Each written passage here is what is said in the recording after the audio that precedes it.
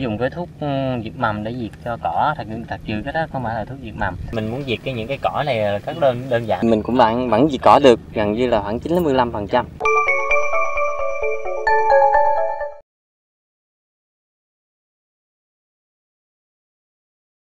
Những người nông dân á họ dùng cái thuốc ừ, diệt mầm để diệt cho cỏ thật thật sự cái đó không phải là thuốc diệt mầm. Cái cái thuốc á mọi người phun cái thuốc mà của những người ờ, nông dân họ gọi, họ gọi là cái thuốc diệt mầm á thì phun vào phun vào thì nó là tạo cái lớp keo lớp keo để phủ bề mặt này để không cho cái cái cái um, cái bề mặt à, hấp thu với nắng mặt trời và hấp thu với không khí. Thì nó nó không cho cái hạt cỏ nó nó lên.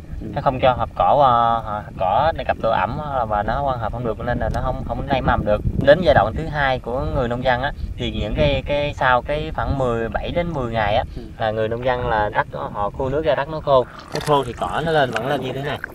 Vẫn lên bình thường như thế này tức là cái hạt những cái hạt trong đất nó vẫn còn. Hẳn luôn luôn lúc nào trên đất nó vẫn còn hạt cỏ. Luôn luôn lúc nào trên đất nó cũng đều có hạt cỏ hết. Thì người nông dân phun cái thuốc diệt mầm á, thì nó là như một lớp keo. Nó phủ hết cái lớp mặt này để cho cái cái đất nó không khô và để cho cái hạt cỏ kiềm chế hạt cỏ lên nảy mầm. Và sau thời gian khoảng 7 đến 8 ngày á thì cái đất này nó nứt nẻ đi. Nó nứt nẻ thì nó sẽ tạo cái luồng không khí ở dưới thì những cái hạt cỏ theo cái cái độ cái cái miếng đất khô và những cái những cái lỗ nẻ này là cỏ nó lên. Nó lên thì sau đó người dân lại tiếp tục phun thuốc cỏ tiếp. Phun thuốc cỏ tiếp. Phun phun là phun hai lần. Ừ. họ dùng cái thuốc cỏ ví như là những cái cỏ này nè nó ừ. nó có nó có những cái loại thuốc chuyên là đặc trị uh, diệt nó. Thì người nông dân mua những cái loại cỏ mà có chuyên trị những cái loại cỏ này. Ừ chi để trị để diệt nó thì cái lúa thì không bị nó ảnh hưởng gì nhưng mà nó tồn cái cái thuốc cỏ đó nằm ở trong đất nó sẽ tồn dư cái cái cái cái hóa học hóa chất nó nằm ở trong đất. Còn đối mô hình của mình ở đây á thì mình cứ cho cỏ nó lên tự nhiên. Đây là những cái cỏ. Ừ. đây là những cái cỏ. Cái lúa mình rất là cao và cái lúa của mình tầm khoảng 12 đến 15 cm rồi ừ. còn cái cỏ thì nó chỉ một một cm cái nào cao nhất khoảng 3 cm ừ. đó.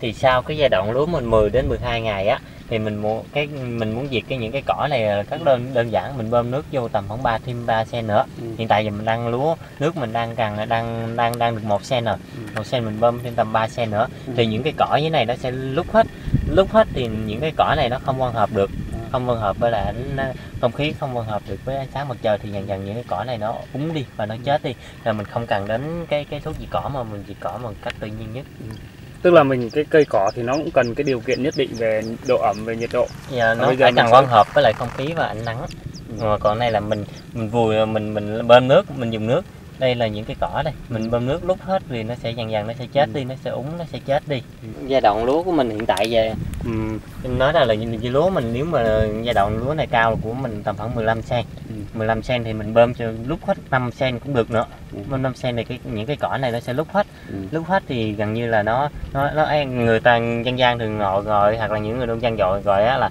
bơm nước vô để ém cỏ ừ. ém cỏ thì cỏ này nó lúc hết thì nó sẽ tự nhiên nó chết mà không cần đến dùng tới thuốc mình dành dùng một cách tự nhiên nhất ừ.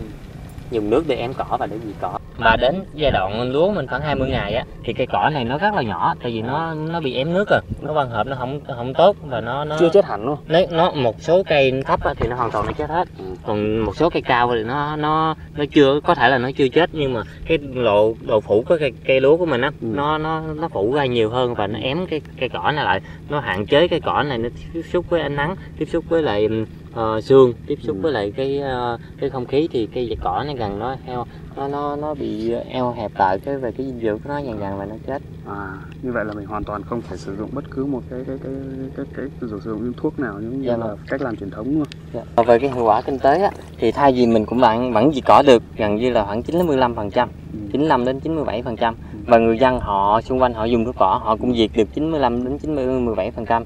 Phần trăm. Nhưng ngược lại của mình ở đây á là gần như là mình không tốn tiền gọi là tiền để bơm, bơm phun thuốc phun thuốc diệt cỏ. Còn người dân thì họ tốn hai lần phun thuốc thuốc cỏ thuốc diệt cỏ. Trước nhất thứ nhất là họ tốn tiền để họ mua thuốc cỏ. Cái thứ hai là họ tốn công họ xịt họ phun. Đó thì cái hai cái giai đoạn này mình tiết kiệm trên một cái một một hecta thì cũng được vài triệu trên một hecta gồm cả thuốc cỏ gồm cả công. Ừ.